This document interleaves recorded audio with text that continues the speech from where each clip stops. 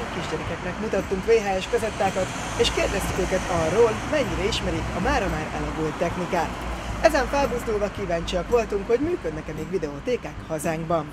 Felkutattunk hát három budapesti helyet, ahol a mai napig lehet filmeket kölcsönözni. Tartsanak velünk! Pressure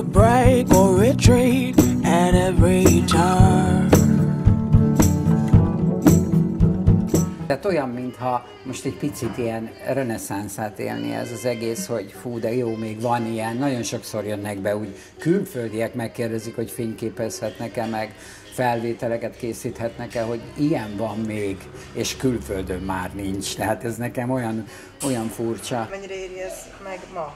Tehát, hogyha mondjuk teszem fel, csak téka lenne, akkor Uha.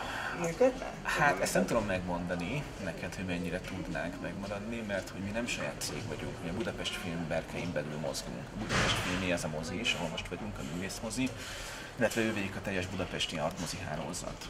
Tehát mi úgy tudunk megmaradni és nem maradni így 2016-ban, hogy mi részei vagyunk a Budapest Filmnek.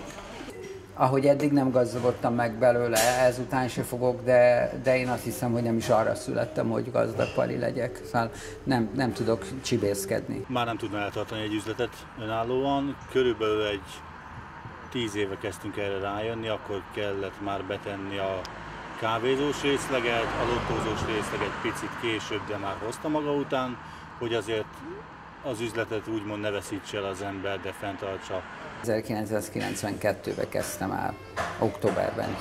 És hogy, még a mai napig fent tudja tartani? Hát ezt én is megkérdezem.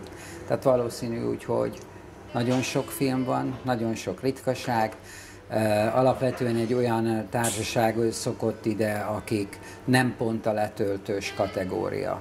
Tehát ez egy más korosztály, más típusú emberek más típusú filmeket szeretnek, olyanokat, amik mondjuk művészfilmek, amik nincsenek fenn a neten. És ez valahol így kicsit mindig átlendít a nehézségeken. 93-tól vagyunk, nem itt kezdtük, a Holenelme utcában kezdtük a Volduna mozi helyén, ott kezdtük, és onnan költöztünk ide. Most a meg pár éve.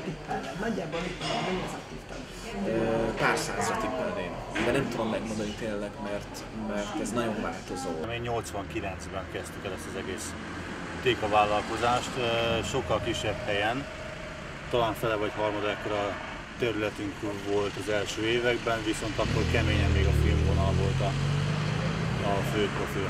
Milyen ma 2016-ban tékesként dolgozni?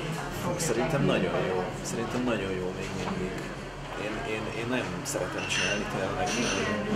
Nem csak amiatt, mert hogy film közben van az ember, ez mindenki, mindenki, aki, közülünk, aki ezt csinálja, elsősorban tényleg az a, az a fő szempontja, hogy szereti a filmeket. De, de nem tudom, azt vettem észre, hogy, hogy valamiért annyira Szóval annyira jó visszajelzés, annyira jó visszacsatolás a kölcsönzőink részről, meg, meg, meg amiatt is, hogy, hogy, hogy van egyfajta bizalom kölcsönösen egymás iránt. Tehát, hogy, hogy ők kérnek egy filmet, adunk egy filmet, és tudjuk, hogy ez a film most eldönti az ő hátralevő 2, 3, 4, 5 órájukat. Olyan van még, aki a város másik végéből jön át ide, hogy tudja, hallotta, olvasta, hogy ez még videótéka, kivinne egy, videóté- kivinne egy videófilmet, de hopp, akkor már megállok egy kávéra. Tehát nem mindig a másodlagos termék vonzza be a kölcsönzést, hanem hál' Istennek még a, a filmek miatt jönnek ide. Én, én, én mindig megpróbálok az embereknek egy kicsit felülajánlani filmet, szeretek ajánlani, és azt látom, hogy sokan szeretik is, ha ajánlok. Kipuhatolom, hogy mi az, amit szeret, és akkor megpróbálok egy kicsit emelni a színvonalon, mert, mert én azt egy kicsit alacsonynak tartom mindig, tehát megpróbálom az embereket ilyen szempontból nevelni. Tudod, hogy, hogy nézzenek már egy kicsit jobbat is. Mindennél van egy kicsit jobb, nem kell sokkal, még meg fogják érteni, még nem lila ködös, de már egy picit művész. Szóval ilyen, ilyenek vannak. Facing the fear that the truth I discovered